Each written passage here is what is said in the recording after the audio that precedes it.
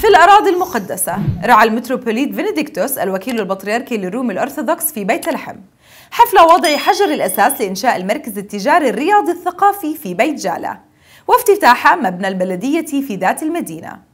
حضر الحفل عدد من الآباء الكهنة ومسؤولي وممثلي الأجهزة الرسمية والأمنية والمؤسسات المحلية وحشد من مواطني المدينة.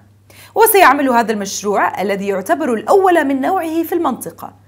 على رفع مستوى بلدة بيت جالة وازدهارها وتطويرها إضافة إلى أنه سيساعد على خدمة شابات وشباب المنطقة وعائلاتها وخلق فرص عمل لأبناء محافظة بيت لحم وضواحيها علاوة على أن هذا المشروع الحيوي سيسهم بتحسين الوضع السياحي والتجاري في البلاد.